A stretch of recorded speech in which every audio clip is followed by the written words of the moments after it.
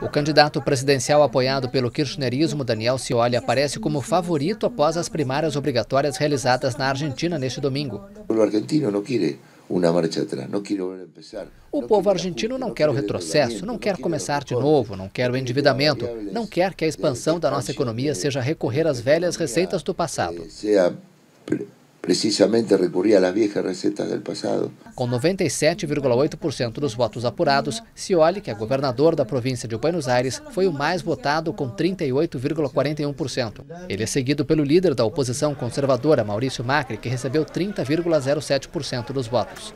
Em terceiro aparece o deputado Sérgio Massa, ex-chefe de gabinete da presidente Cristina Kirchner, agora na oposição. Esses resultados apontam para um possível segundo turno em novembro, previsto caso nenhum dos candidatos alcance 45% mais um dos votos ou 40%, com vantagem de 10 pontos sobre o segundo colocado.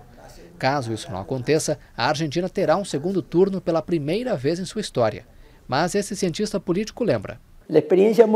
A experiência mostra que normalmente aquele que aparece em primeiro tende a subir e não baixar. O especialista argumenta que se a Argentina tivesse um segundo turno clássico, como ocorre no Brasil, não haveria dúvida de que a disputa iria para o segundo turno.